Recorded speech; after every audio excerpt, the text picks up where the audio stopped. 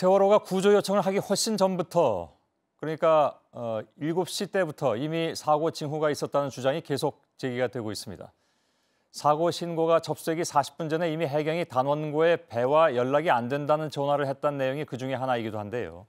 해경은 전화를 한 적이 없다고 주장했고 제주 자치경찰은 자신들이 전화를 걸었다고 주장했습니다. 논란이 가라앉을지는 두고 봐야 할 것 같은데요. 이호진 기자가 취재했습니다. 침몰 당시 단원고 교무실 게시판입니다. 해경이 밝힌 사고 시간보다 앞선 8시 10분에 제주 해경으로부터 배와 연락이 안 된다는 전화가 왔다고 적혀 있습니다. 경기도교육청은 이 같은 사실을 단원고로부터 보고받은 뒤 교과부에도 보고했습니다.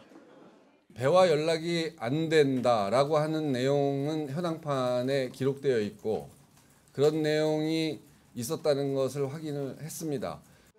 공식 발표된 시간보다 훨씬 전에 이미 세월호에 사고 징후가 있었던 게 아니냐는 의혹이 제기된 겁니다. 논란이 확산되자 제주 해경은 단원고에 전화를 한 적이 없다고 해명했습니다.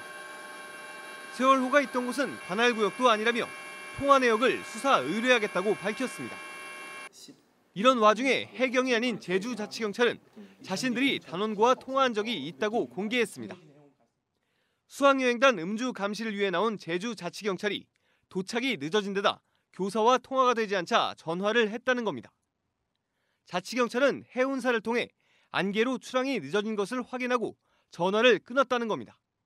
그럼 선생님 입회 하에 그걸 해야 되기 때문에 그 사전에 8시 반에 들어오게 되면 10분에서 한 20분 정도 전에 선생님이랑 전화해서 하지만 사고 4, 50분 전에 배가 심하게 흔들렸다는 승무원의 증언 등 이상 징후 의혹은 여전히 남아 있습니다.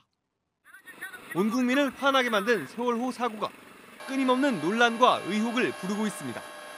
JTBC 이호진입니다.